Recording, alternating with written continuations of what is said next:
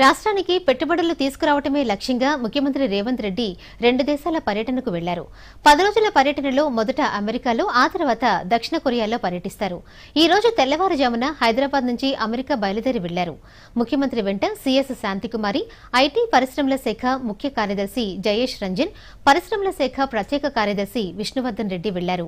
న్యూజెర్సీలో పలు కార్యక్రమాల్లో పాల్గొంటారు. తొమ్మిదవ తేదీ వరకు New York Washington Washington Dallas San Francisco నగరాల్లో పర్యటించి పలువురు పారిశ్రామిక దిగ్గజాలతో భేటీ అవుతారు. ఈ సందర్భంగా పలు కంపెనీలతో రాష్ట్ర ప్రభుత్వం ఒప్పందాలు కుదుర్చుకునే అవకాశాలున్నాయి. అమెరికాలోని ప్రవాస భారతీయులతోనూ ముఖ్యమంత్రి నేతృత్వంలోని బృందం సమావేశమవుతుంది. పదిన అమెరికా నుండి బయలుదేరి పద్నాలుగున దక్షిణ కొరియాలో సియోల్ నగరానికి చేరుకుంటారు. అక్కడ కూడా ప్రముఖ కంపెనీల ప్రతినిధులతో సమావేశమవుతారు. పన్నెండున సియోల్లో Yuyu pharma Korean federation of textiles industry LS holdings Hyundai motors ప్రతినిధులతో పలువురు ఆ దేశ ఉన్నతాధికారులతో సమావేశమవుతారు. పదమూడున హ్యాండ్ రివర్ ప్రాజెక్టుపై డిప్యూటీ మేయర్ జూ యంగ్ టాయ్తో భేటీ అవుతారు.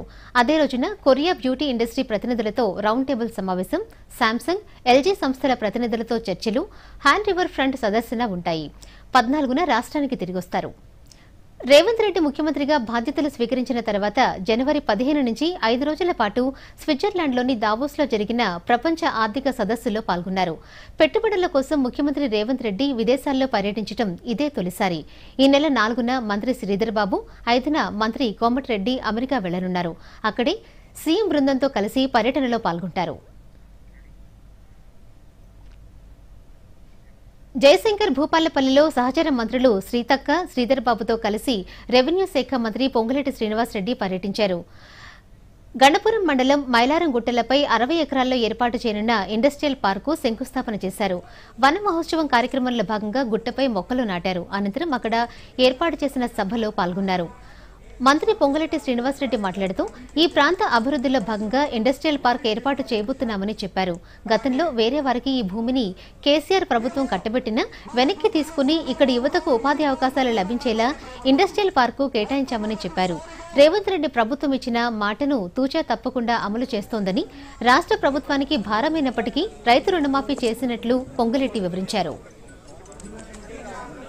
అభివృద్ధికి సంక్షేమానికి రెండు కళ్ళలాగా జోడెడ్లలాగా రెండింటినీ సమ పాదాలో ఈ ప్రభుత్వం ఈనాడు నడిపిస్తుంది.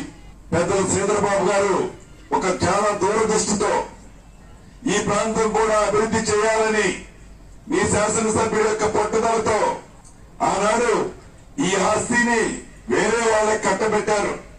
ఆ కట్టబెట్టిన ఆస్తిని నేను మంత్రి అయిన మొదటి పది రోజుల్లోనే వచ్చి పరిస్థితుల్లో దాన్ని క్యాన్సిల్ చేయాలన్నని నాతో సంతకం పెట్టించుకొని క్యాన్సిల్ చేసి ఈ భూమిని మీ అందరికీ ఇక్కడున్న యువతకి ఉపయోగపడే విధంగా ఈనాడు ఈ భూమిని పేదోడి ఆలోచనకు అనుగుణంగా మీ అందరి ఉపయోగం కోసం ఈరోజు ఈ ప్రభుత్వం నిర్ణయించడం జరిగింది.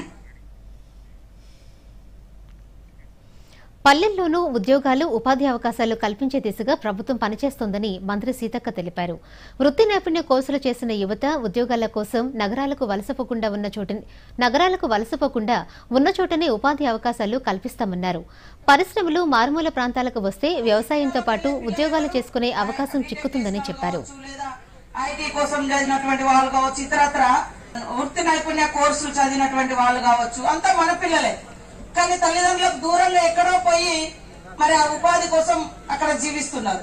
కాబట్టి అట్లా కాకుండా తండ్రి వ్యవసాయము తల్లిదండ్రులు అదే విధంగా ఇట్లాంటి ఐటీ పార్కుల ద్వారా తల్లిదండ్రులతో కలిసి ఉండొచ్చు అనేటువంటి ఒక గొప్ప కాన్సెప్ట్ను తీసుకొచ్చి ఈ రోజు ఒక మన మారుమూల ప్రాంతాల్లో మరి భూపాలపల్లి నియోజకవర్గం భూపాలపల్లి జిల్లాలో మరి శ్రీధర్ బాబు సారు అదే విధంగా సత్యన్న మంచి ప్రణాళిక చేసుకొని ఇక్కడ ఇండస్ట్రియల్ పార్క్ ఏర్పాటు చేసి మరి రాబోయే యువతరానికి వేలాది కొలువులు అందించడం కోసం ఉద్యోగాలు కల్పించడం కోసం ఈ యొక్క మంచి ప్రయత్నం జరుగుతుంది.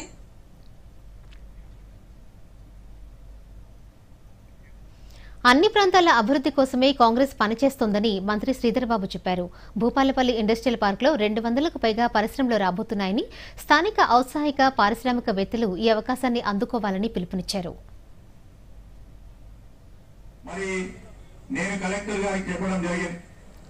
చెప్పిన వెంటనే రెండు రోజుల్లో కలెక్టర్ చుట్టూ తిరిగి ఆయనను కూడా వదిలిపెట్టలే ఈ భూమి వచ్చేవారు. ఆ భూమి ఏర్పాటు కృషి చేసిండ్రు. భూమి ఏర్పాటు కాగానే ఇది భూమి ఏర్పాటు అయింది సార్. ఇది ఇండస్ట్రియల్ పార్క్గా ఏర్పాటు చేసే ప్రయత్నం చేయాలని. మారుమూల ప్రాంతం అటవీ ప్రాంతం ఇక్కడ చదువుకున్న వారు చాలా మంది ఉంటారు. ఔత్సాహిక పారిశ్రామికవేత్తలను చేయాలని ఎమ్మెల్యే గారి సంకల్పన. దీంట్లో కాంగ్రెస్ పార్టీ ప్రభుత్వం ఉంది.